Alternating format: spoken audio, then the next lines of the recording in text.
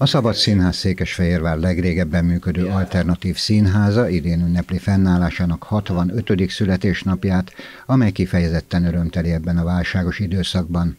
Az innovatív gondolkodás jegyében a színház már a kezdetektől a hagyományos színháztermi kereteken túllépve különböző kísérletekkel lopta be magát a kultúra barátainak szívébe mi szerényen meghúzottunk a háttérbe a magunk kis 65 évével, és igyekeztünk az egész év programját is inkább ötletekkel, inkább kreativitással, mint sem, hogy nagy látványosságokkal átgondolni és felépíteni, és azt gondolom, hogy ezzel együtt nagyon jól beilleszkedik a, a városnak a programjába, életébe.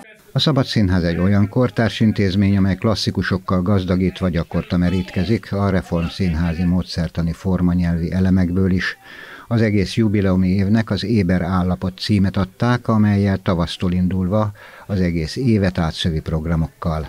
Tavaszra elkészülünk ezzel az új bemutatóval, ami egy ízig-vérig magyar történet, a 900-as évek kivándorlás kora, és nagyon élvezzük ezt a, ezt a kort. Ezt még nem csináltuk, tehát, hogy ebben a korban még nem, nem játszottunk, és ez emiatt is nagyon izgalmas a társulat számára, és aztán természetesen az ókori interpretációk gondolkodunk abban is, hogy ott is milyen újdonságokat tudunk kitalálni.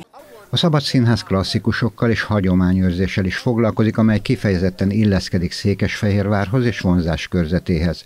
Az élőképes krónikák során tíz darab élőképben már eljátszották Székesfehérvár történetét az alapítástól a reformkorig, emellett létrehozták a Mesélőházak projektet is, amely a kor digitális követelményeinek megfelelően okostelefonos applikációként jött létre.